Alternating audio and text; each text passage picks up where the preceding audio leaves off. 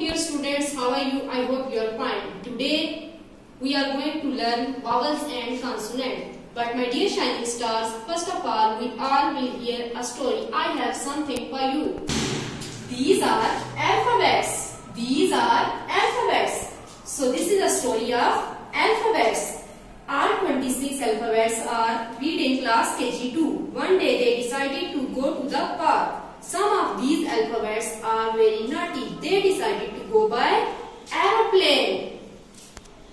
The other innocent alphabets decided to go by bus.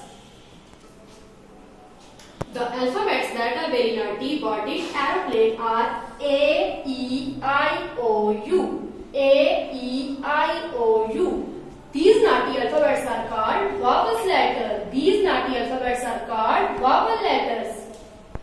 The innocent letter meant by us are called consonant. Are called consonant. So naughty letters are called vowels letter. Innocent letters are called consonants.